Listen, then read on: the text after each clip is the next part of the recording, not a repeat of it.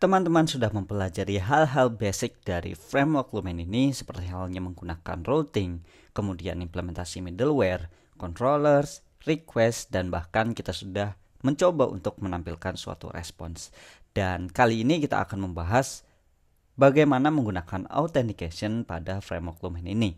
Meskipun autentikasi di dalam Lumen ini masih menggunakan uh, library dari Laravel, tapi untuk konfigurasinya berbeda dengan framework Laravelnya itu sendiri.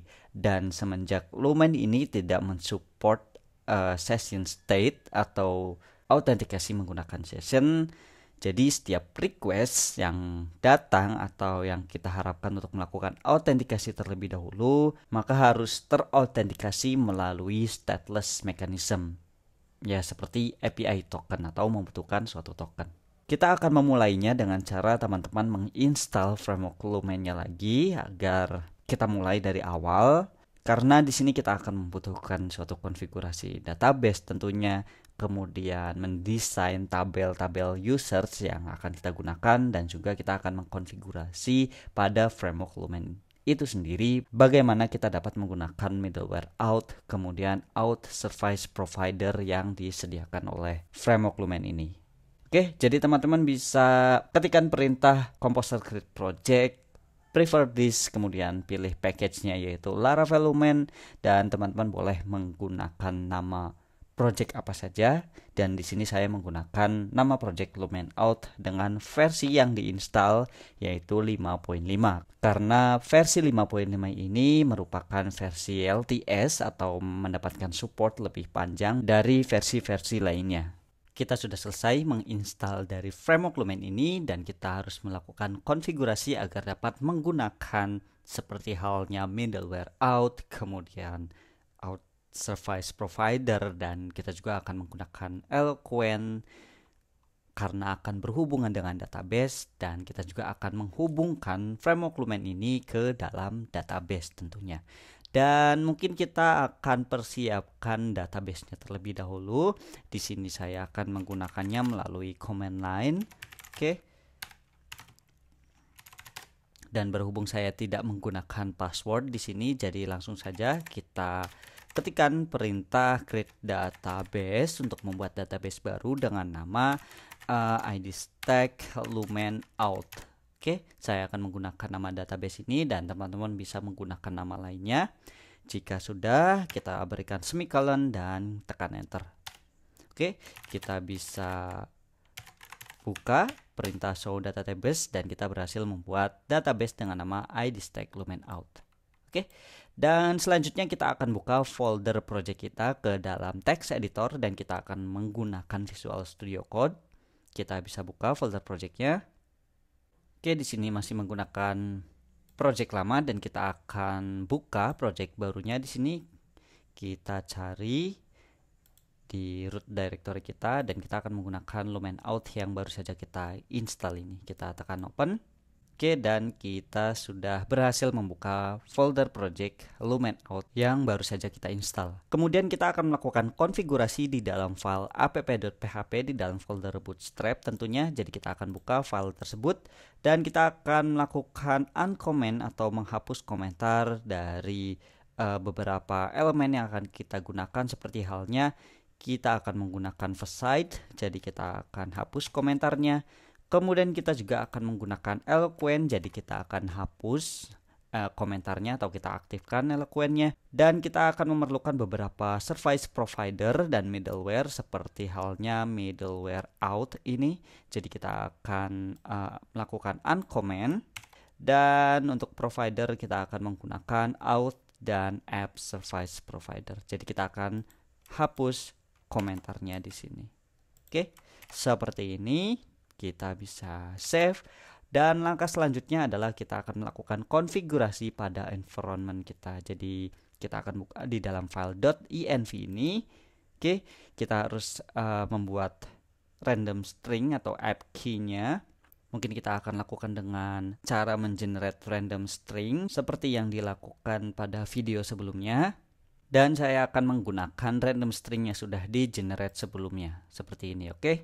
Dan kita juga akan mengkonfigurasi database yang akan kita gunakan yaitu kita akan menggunakan ID stack uh, lumen out seperti yang sudah kita buat di dalam MySQL.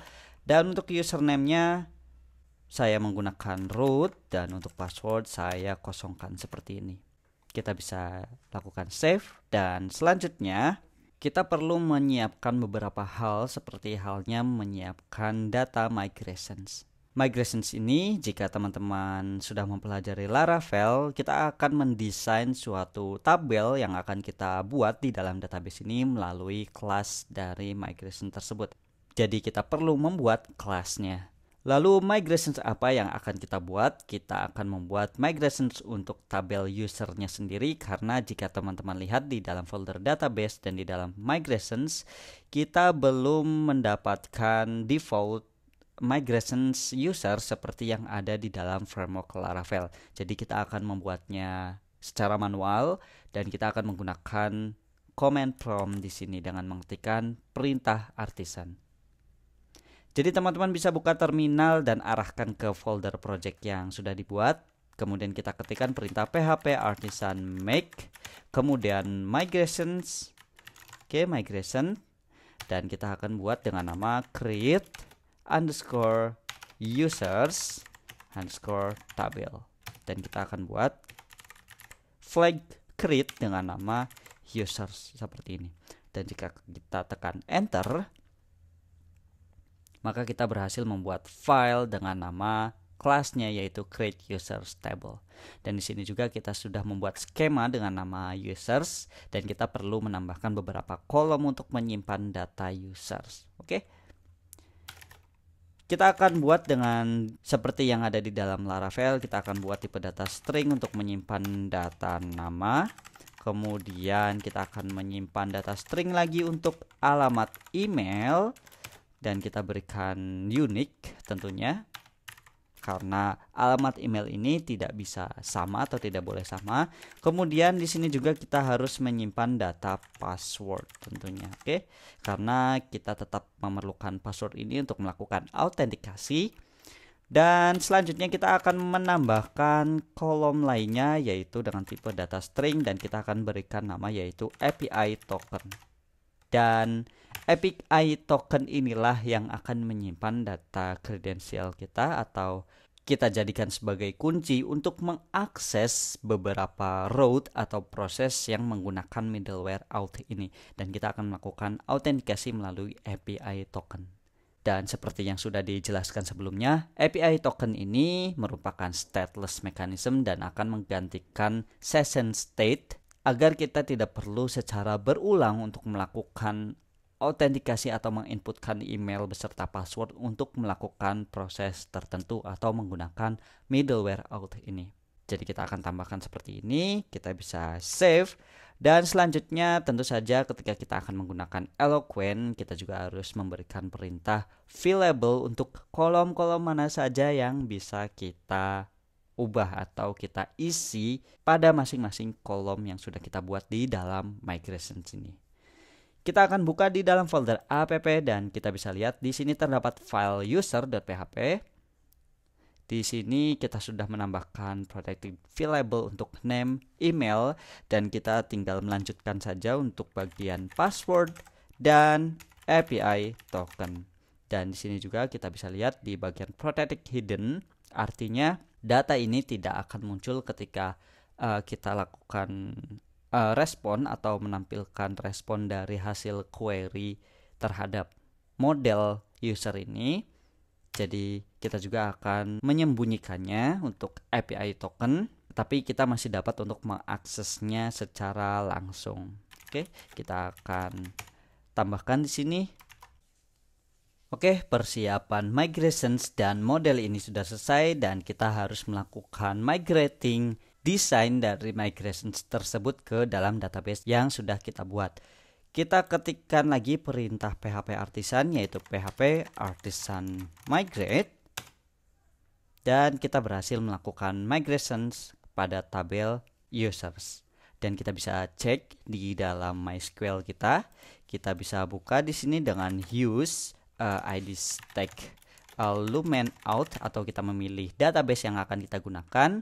Dan kita bisa gunakan perintah show tables untuk melihat uh, tabel-tabel uh, apa saja yang dibuat di dalam database ID stack lumen out tersebut. Kita bisa lihat di sini kita sudah membuat tabel migrations dan users. Dan di dalam tabel users ini kita bisa lihat kita bisa ketikkan perintah describe dan kita pilih users. Oke, dan teman-teman bisa melihat di sini terdapat beberapa kolom sesuai dengan yang sudah kita buat di dalam file migrations. Kita sudah membuat uh, untuk ID, name, email, password, API token dan timestamps yang akan mengenerate kolom created add dan update add. Artinya tabel user sudah kita buat dan dapat kita gunakan.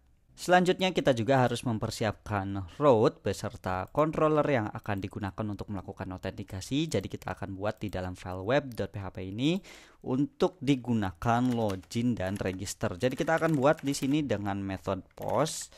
Kita akan arahkan ke register dan kita akan gunakan out controller yang nantinya akan kita buat untuk mengarahkan ke method register. Dan selanjutnya kita juga akan membuat root baru dengan metode post tentunya untuk proses login dan kita akan menggunakan controller out controller di bagian metode login tentunya. Oke. Dan kita akan membuat controller dari out controller tersebut di dalam folder app http controllers dan di sini kita akan buat tetapi kita tidak akan menggunakan perintah PHP artisan karena tidak ada pilihan untuk membuat uh. Kita bisa lihat di bagian make ini hanya tersedia untuk migrations dan seeder. Jadi kita akan buatnya secara manual dengan cara menduplikat example controller ini dengan nama out controller. Oke, dan kita akan mengubah nama kelasnya tersebut dengan nama out controller dan kita juga akan mempersiapkan beberapa metode untuk digunakan sebagai register dan juga untuk login. Oke. Dan tentunya agar dapat kita mengelola data yang dikirimkan oleh user tersebut atau sebagai request, kita akan memanggil kelas dari request yang dimiliki oleh Illuminate HTTP. Jadi kita akan panggil di sini use Illuminate kemudian HTTP dan kita panggil request seperti ini. Oke. Okay? Dan kita akan lakukan type hint pada masing-masing metode tersebut dan kita injek ke dalam variable request. Untuk persiapannya sudah selesai dan kita akan lanjutkan pada video selanjutnya.